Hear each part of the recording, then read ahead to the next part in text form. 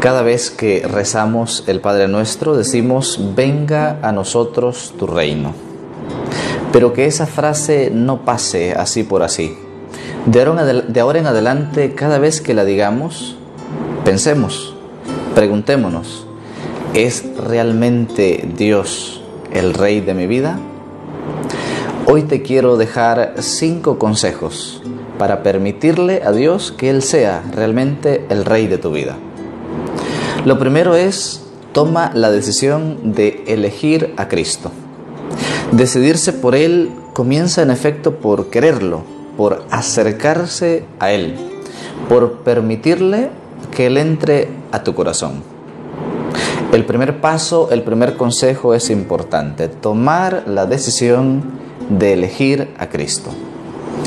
Segundo consejo es, en efecto, al haber tomado la decisión, renunciar a otros reyes, al reino de las tinieblas, al reino de aquellas cosas que se oponen a la luz, al reino, por ejemplo, de el orgullo, de la soberbia, de esas cosas a las cuales quizá estás aferrado.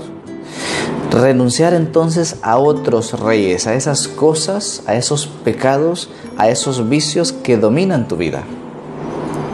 Tercer consejo, cederle el control a Cristo. Nosotros no tenemos el poder para cambiar todo lo que nos sucede. Enfermedades, situaciones accidentales, por ejemplo. Hay cosas que no las podemos controlar. Pero en efecto, si abandonamos esas cosas en las manos de Dios, nos vamos a dar cuenta que Dios incluso desde esas cosas sabe sacar cosas buenas. Tercer consejo, cédele el control de tu vida a Dios. Cédele el control de esa situación a Cristo. Cuarto consejo, conocer y cumplir la voluntad de Dios. Solo aquello que se conoce se ama. Si quieres que Cristo sea el Rey de tu vida, aprende a conocerle y desde ahí aprenderás a amarle. ¿Cómo se conoce a Cristo? A través de la oración a través de la lectura asidua de la palabra, a través de los sacramentos.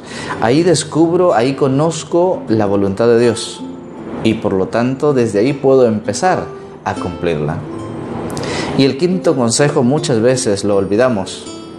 Si queremos que Cristo sea el rey de nuestra vida, no debemos olvidar quién es la reina no podemos honrar a Cristo como Rey y despreciar u olvidar a la Reina, es decir, a la Virgen María.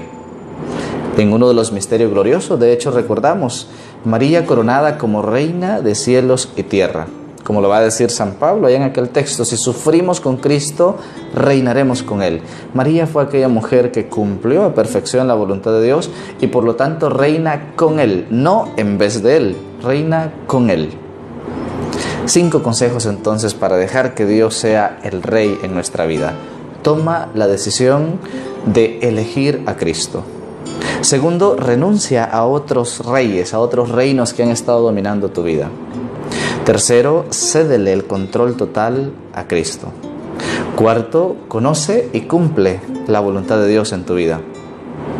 Quinto, honra también a la reina. Que el Señor te bendiga. En el nombre del Padre, del Hijo y del Espíritu Santo. Amén. Que tengas un excelente día. Soy el Padre Sam.